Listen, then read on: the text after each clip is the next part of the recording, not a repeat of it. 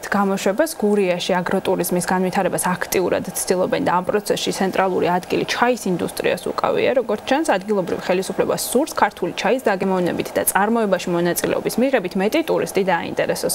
ინიციატივას მხარს უჭერს ტურიზმის ეროვნული ადმინისტრაციაც. ჩვენი ჟურნალისტი სალომე გეგუჩაძე იმყოფებოდა ოზურგეთში, სადაც ჩაის ფესტივალი გამართა. მან ასევე მოინახულა ადგილობრივი მწარმოებლები და მონაწილეობა მიიღო ჩაის კრეფისა და გადამუშავების პროცესში. ვნახოთ, როგორ ვითარდება აგროტურიზმი ჩაის გამოყენებით. გამოყენებით გურიაში სიუჟეტი. ოზურგეთში ქართული ჩაის ფესტივალი წელს პირველად გამართა. ღონისძიებაში მონაწილეობა ჩაის 20-მდე მწარმოებელმა მიიღო. ღონისძიება ადგილობრივი მცირე და საშუალო საწარმოების მხარდაჭერის, ასევე მომხმარებლებში ნატურალური ჩაის პოპულარიზაციის მიზნით გამართა. ქართულ კულტურაში ჩაის თავისი ადგილი ყოველთვის ეკავა. მთავარი იდეა სწორედ ჩაის განვითარებაა, როგორც ლოკალური ბიზნესის, ისე ტურისტებისთვის მისაზიდი და საინტერესო ადგილობრივი ნაწარმის წარმოჩენა.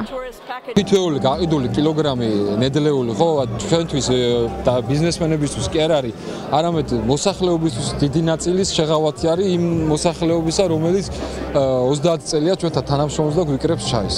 ასეთი ფესტივალი კი ხელს უწყობს განვითარებას, პოპულარიზაციას ჩაისა და მე მგონი მნიშვნელოვანია რომ გურიაში ჩაი ქართული ჩაი აღვადგინოთ გურიის ჩაის გზა ასე ეწოდება ოზურგეთის მუნიციპალიტეტის მერიის ინიციატივას, რომელიც მიზნად ისახავს აგროტურიზმის განვითარების გზით ადგილობრივი მოსახლეობის შემოსავლები და დასაქმება გაზარდოს. ქართული ნატურალური ჩაი დიდი პოპულარობით სარგებლობს როგორც ადგილობრივებში, ისე უცხოელ ვიზიტორებს შორის. განსაკუთრებით იმ ფონზე, როდესაც არა მხოლოდ ჩაის დაგემოვნების, არამედ უშუალოდ მისი დამზადების პროცესში მონაწილეობის შესაძლებლობა აქვთ.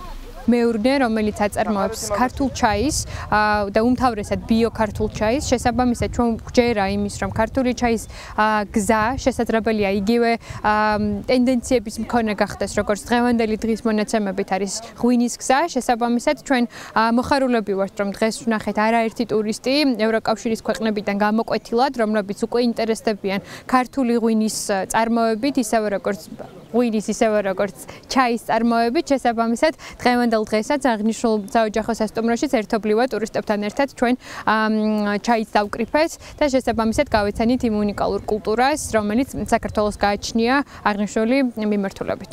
ჩაის წარმოება მიმდინარეობს როგორც ხელით დამუშავება ჩაის ასე მცირე დანადგარებით რომელსაც დღეს აწარმოებს ჩვენი მოსახლეობა.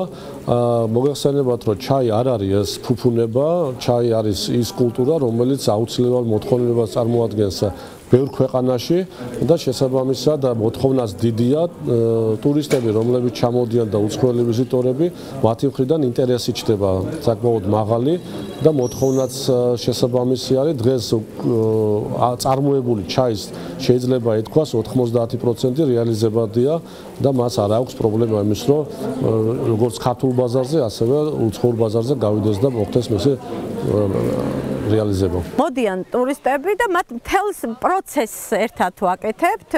გააჩნია იმისა, რამდენი ხნით არიან ისინი ჩემთან, ანუ ვამუშავებთ, მე მე თუ ისინი დიდი დროით არიან უკვე თავის დაგემოვნებასაც ვასწრებთ მათივე მოკრეფილი ჩაის, თუ არა და სხვა ჩაის ვაგემოვნებიდებთ, უყვები ჩაიზე ვასწავლი მათ მომზადების სხვადასხვა ხერხს და ძალიან კმაყოფილი ბედნიერები ბრუნდებიან, იმიტომ რომ ძალიან ესეთია რიტუალური, საინტერესო, ყველანაირად და თან რაც თავარი არის ქართული.